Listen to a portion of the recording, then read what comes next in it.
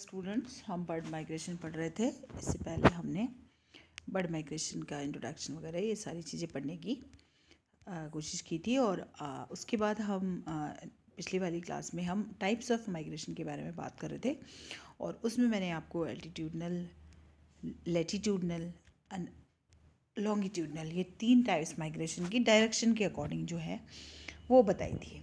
Next जो आ, उसका criteria है माइग्रेशन को क्लासीफाई करने का वो ये है कि आ, सारे बर्ड्स पार्टिसिपेट करते हैं या एक पर्टिकुलर ग्रुप पार्टिसिपेट करता है या कम लोग मतलब मेंबर्स जो है स्पीसीज़ के पार्टिसिपेट करते हैं तो उसके अकॉर्डिंग जो नेक्स्ट टाइप है माइग्रेशन की that is total migration total migration जिसे नाम से पता लग रहा है जबकि एक स्पीसीज़ के सारे ही मेंबर्स माइग्रेशन में पार्टिसिपेट करें पूरे के पूरे एक जगह से दूसरी जगह चले जाएँ तो इस प्रकार का जो माइग्रेशन है वो कहलाता है। टोटल माइग्रेशन और आर्कटिक टर्न वाला जो माइग्रेशन है आर्कटिक टर्न के द्वारा जो कर जाता है, वो टोटल माइग्रेशन है। ये अपने माइग्रेशन के लिए फ़ेमस है। ये आर्कटिक ब्रीडिंग ग्राउंड से अटलांटिक तक जाता है एंड बैक वापस वहाँ पर आर्टिक आर्टिक जोन में आता है। और जो इसके दौरान, इसके द्वारा जो शॉर्टेस्ट डिस्टेंस ये कवर करता है, वो लगभग बारह हज़ार माइल की होती है उन्नीस हज़ार किलोमीटर अप्रॉक्स जो ये ट्रेवल करके और माइग्रेट आर्कटिक टर्न जो है वो करता है और इसमें इसकी पूरी स्पीसीज़ जो है, इसके सारे मेंबर्स जो हैं वो पार्टिसिपेट करते हैं। तो इस प्रकार का जो माइग्रेशन है वो टोटल माइग्रेशन का एग्ज़ाम्पल है। नेक्स्ट जो है वो पार्शल माइग्रेशन मतलब सारे जने उसमें हिस्सा नहीं लेते। जैसे ब्लू बर्ड्स में और ब्लू जेज जो हैं कनाडा के और नदर यूनाइटेड स्टेट्स के और बार्न हाउस जो हैं, ये माइग्रेट करते हैं south west to mingle with the sedentary population of the south states इस प्रकार के जो माइग्रे माइग्रेशन है वो पार्शल माइग्रेंट्स हैं ये लोग. आ, इनका पूरा ग्रुप जो है वो माइग्रेट नहीं करता है जैसे आपको यहाँ ब्लू बर्ड दिखाई दे रही है तो इनमें इस प्रकार का पार्शल माइग्रेशन पाया जाता है. इन सच केसेस सारे ग्रुप के सारे मेंबर्स जो हैं ये आ, अपने नेटिव लैंड को नहीं छोड़ते बल्कि विजिबल होते हैं थ्रू आउट द ईयर उनमें से कुछ लोग जो है चले जाते हैं. Uh, actually these are the partial migrants because the birds visible in the winter also and not the same as seen in the summer also मतलब समर में भी आपको ये बर्ड वहाँ देखने को मिलेगा और विंटर में भी मिलेगा तो कुछ एक जो है वो चले जाते हैं फिंचेस में टिच माउस रेड ब्रेस्ट संतरस इन ये जो एग्जांपल्स हैं ये पार्शल माइग्रेंट्स के एग्जांपल्स हैं। हमारे यहाँ पे जो है स्पून बिल्स और कूट्स जो है, वो अभी पार्शल माइग्रेशन दिखाते हैं। पार्शल माइग्रेंट्स हैं ये लोग भी, इनका भी पूरा ग्रुप जो है माइग्रेशन शो नहीं करता, बल्कि कुछ मेंबर्स जो है वो चले जाते हैं। फिर दिन और रात के हिसाब से हमने इस माइग्रेशन को बांटा हुआ है। Diurnal migration and nocturnal migration दिनचर migration और रात्रिचर माइग्रेशन जो है। कुछ बर्ड्स जो हैं डे टाइम में फ्लाई करते हैं। सिक्रोज हैं स्वेलोज हैं रोबिन्स हैं ब्लैक बर्ड्स हैं हॉक्स हैं ब्लू बर्ड्स हैं जेज हैं क्रेन्स हैं पेलिकन्स हैं डक्स हैं स्वान्स हैं गीज है शोर बर्ड्स हैं। ये सब जो है, ये दिन के टाइम जो है ट्रेवल करते हैं। सुटेबल प्लेस पे फिर ये फॉरेस्ट के लिए रुक जाते हैं। और इनमें से स्वॉलोज और स्विफ्ट जो हैं, ये क्या करते हैं कि जब एयर में हो, जब ये ट्रेवल कर रहे हो, हवा में हो, उस स्थिति में भी ये लोग इंसेक्ट्स को कैप्चर करते हैं। फ़ूड जो है वो उड़ते हुए भी ये अपना फ़ूड ले लेते हैं। बाकी ये बीच बीच में स्टॉपेज इनका होता है ताकि ये अपना फीडिंग जो है वो कंप्लीट कर सकें। इस प्रकार के जो बर्ड्स हैं, ये ज़्यादातर ये जो है अक्सर फ्लूक्स में मतलब ग्रुप में, इनके ग्रुप को फ्लूक कहते हैं। उस ग्रुप में ही ये जो है माइग्रेशन दिखाते हैं। तो ये डायरल माइग्रेशन कहलाता है क्योंकि दिन के समय में फ्लाई किया जाता है और इनके जो फ्लूक्स हैं, ये वेल ऑर्गेनाइज होते हैं डक्स गीज और स्वान्स में और लूजली अरेंज भी हो सकते हैं, जैसे स्वेलोज में होता है। मतलब इनका ग्रुप एक सिंक्रोनाइज वे में भी माइग्रेशन दिखाता है और कई बार ये लूजली मतलब कहीं पे भी कोई भी, कैसे भी किसी भी प्रकार से माइग्रेशन दिखाते हैं। तो इस प्रकार का जो माइग्रेशन है, वो डायरोनल माइग्रेशन कहलाता है।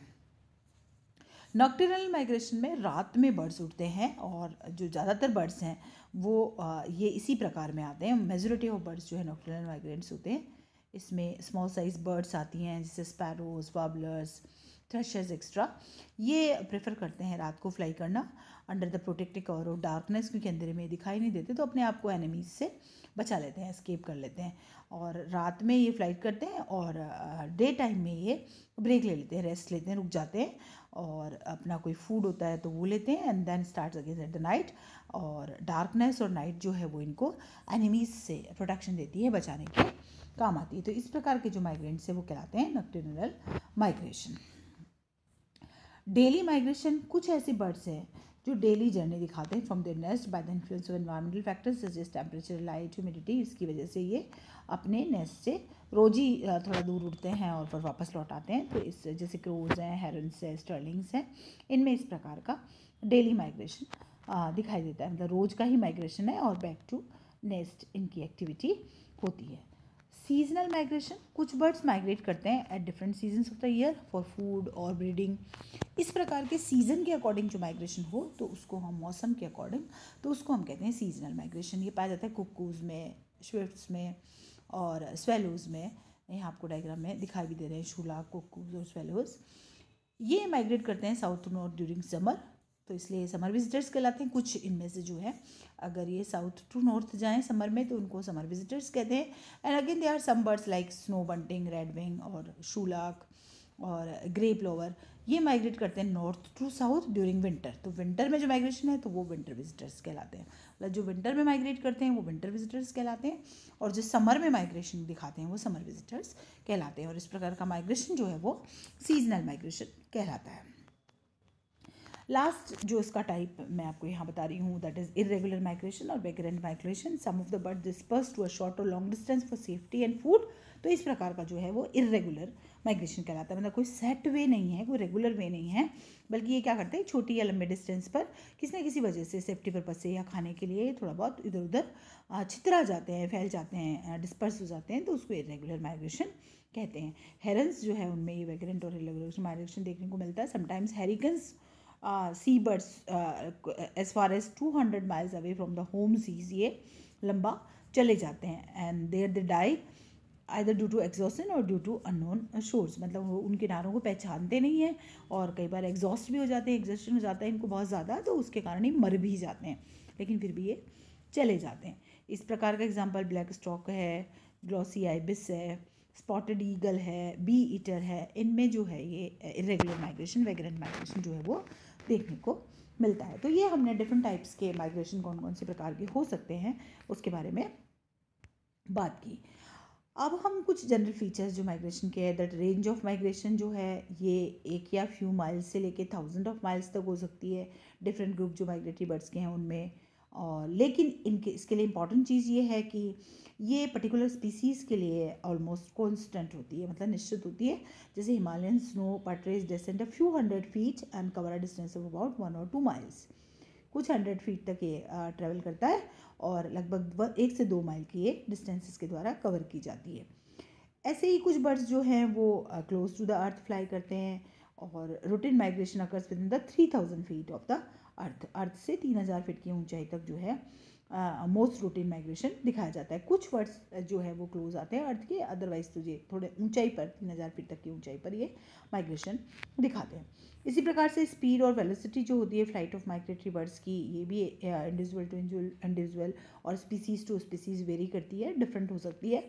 और ये एयर स्पीड से भी अफेक्टेड होती है डायरेक्शन का भी प्रभाव पड़ता है। और ये भी देखा गया है कि जनरली ये इतना फास्ट फ्लाइंग नहीं दिखाते बर्ड्स जितना कि ये माइग्रेशन के टाइम दिखाते हैं। मतलब एनी अदर टाइम ये इतना फास्ट फ्लाइंग नहीं दिखाते बल्कि माइग्रेशन के टाइम ये फास्ट फ्लाइंग दिखाते हैं। फिर ये भी देखा गया है कि एक डेफिनेट लाइन फ़्लाइट की ये फॉलो करते हैं और सेम इनका रूट रहता है। ये हम पहले भी बात कर चुके हैं फ्लाइंग रूट्स की।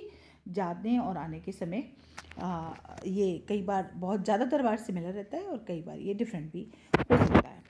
During migration the birds follow a definite order which is strictly followed मतलब एक डेफिनेट ऑर्डर में ही ये चलेंगे. नॉर्मली जो एडल्ट है, वो माइग्रेट करेंगे आगे और इनके पीछे जो है यंग वंस जो है, वो पीछे की ओर चलेंगे. इस प्रकार का जो है, इनका एक ट्रैक जो है स्ट्रिक्टली एक फॉलो किया जाता है. एक डेफिनेट ऑर्डर जो है, इनके द्वारा फॉलो किया जाता है. अब कई तरह की प्रॉब्लम्स माइग्रेशन से संबंधित हो सकती है, जो कि जिसके सही कारण या जिससे बचाव का क्या साधन है, वो हमारे पास बहुत ज़्यादा नॉलेज नहीं है।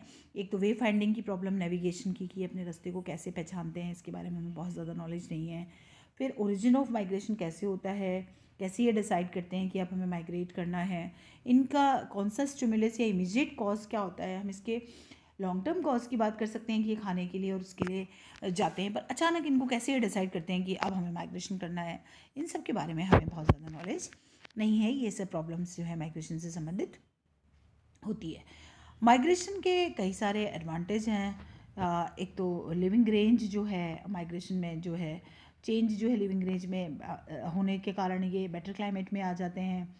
प्लान्टीफुल जो है फ़ूड सप्लाई इनको मिलती है।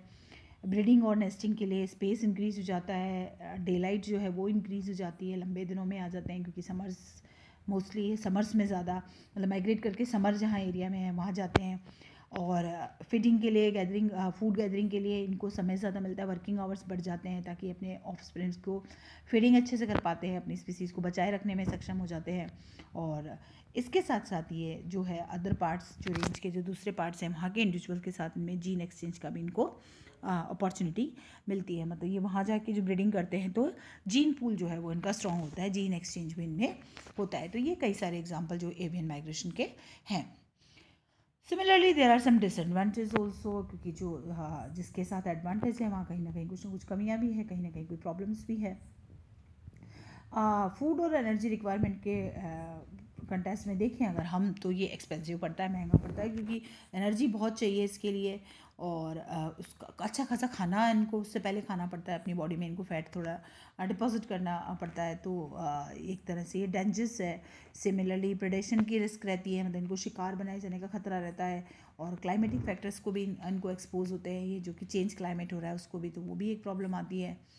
और इसी वजह से हर साल कई सारे hundreds of millions of migratory birds never reach their destination कई सारे बर्ड्स अपने डेस्टिनेशन पर पहुँच ही नहीं पाते ऑन द वे ही वो ख़त्म हो जाते हैं। और इस, इसी तरह से कई सारी चीज़ें हैं जो माइग्रेटरी बर्ड्स के लिए प्रॉब्लम ग्रेट प्रॉब्लम क्रिएट करती है। जैसे कोल्ड वेदर है स्नो स्टॉम्स हैं हेरिकेन्स हैं शॉर्टेज ऑफ़ फ़ूड है स्ट्रॉन्ग करंट ऑफ़ विंड है फोग है मैन मेड लाइट हाउसेज उनसे इनको नेविगेशन में प्रॉब्लम आती है माउंटेन्स है बिग बिल्डिंग्स हैं टेलीविज़न के टावर्स हैं, अब तो मोबाइल के टावर्स हैं। और सेलोमीटर बीम्स जो होती है एयरपोर्ट्स पे, उसके द्वारा इन सबसे इनको जो है माइग्रेशन में प्रॉब्लम आती है। हाई टावर्स और लाइट हाउसेस जो है, वो माइग्रेटरी बर्ड्स का, कई बार डेथ का कारण हमारे द्वारा बनाए हुए जो ये लाइट हाउसेस और टावर्स हैं, वो इनकी मौत का कारण, इनकी मृत्यु का कारण बनते हैं। तो हम इनकी डेथ के लिए, कई बार माइग्रेंट्स के लिए हम लोग रिस्पॉन्सिबल हो जाते हैं। और अम्यूज़मेंट के लिए और मानव को शिकार का शौक़ है, उसके लिए भी इनको प्रॉब्लम आती है, कई बार इनको शूट कर दिया जाता है मानव के द्वारा तो उससे भी इनकी लाइफ जो है वो ख़त्म हो जाती है। तो ये कुछ जो है माइग्रेशन के फ़ायदे हैं तो साथ ही साथ इनको कुछ डिसएडवांटेज भी हैं, कुछ नुकसान भी हैं बर्ड्स को माइग्रेशन के द्वारा। तो दैट्स हमने यहाँ पे माइग्रेशन क्या है और कितने प्रकार का हो सकता है और किस तरह से होता है बर्ड्स में, इसके एग्जाम्पल्स इसके एडवांटेज डिसएडवांटेज इन सब के बारे में बात करें no it is sufficient for the birds migration next time हम नेक्स्ट क्लास में एक अलग चैप्टर जो है वो डिस्कस करेंगे। Thank you